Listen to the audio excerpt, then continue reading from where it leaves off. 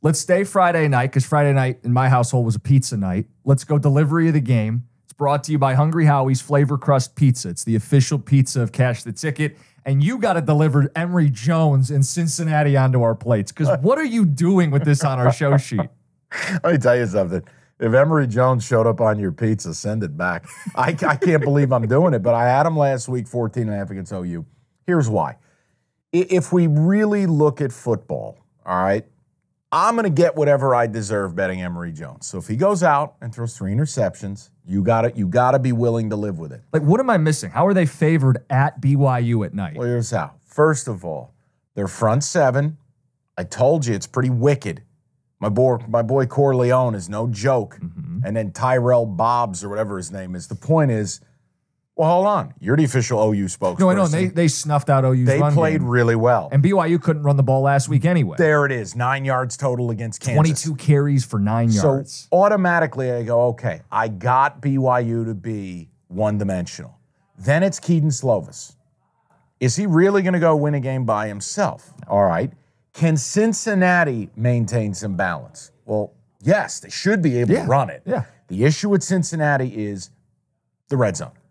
They move it between the 20s and then unspeakable things happen. We're talking a missed 26 yard field goal. We're talking an interception in the end zone. We're talking clown car on fire stuff. But I think it's telling. Now, the number today is one and a half, which makes me feel a little better. Okay. Why? Because college kickers, two point conversions, one and a half is powerful. Sure. I don't think BYU is any good.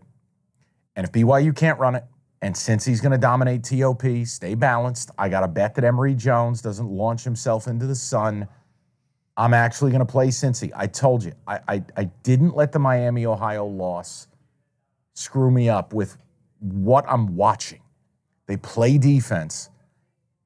And they Satterfield is moving it. I like that they were using tight ends last week. Couple. I mean, do you see the tight end drop the wide open ball?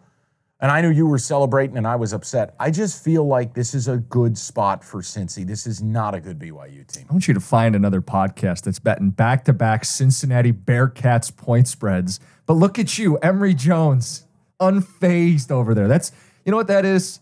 It's kind of frightening. But I just hey, feel I'm like proud of you, buddy, because respected I would need they- points. I would need points to bet Emory Jones. Home, road, sun, moon, stars, couldn't do it. Look, it's probably a bad thing of, that I'm doing. Uh, the idea of Cincy being a short favorite, but I think it's powerful that the market is telling you they're going to go to Provo and be favored. The game would scare me more if it was Cincy getting two and a half.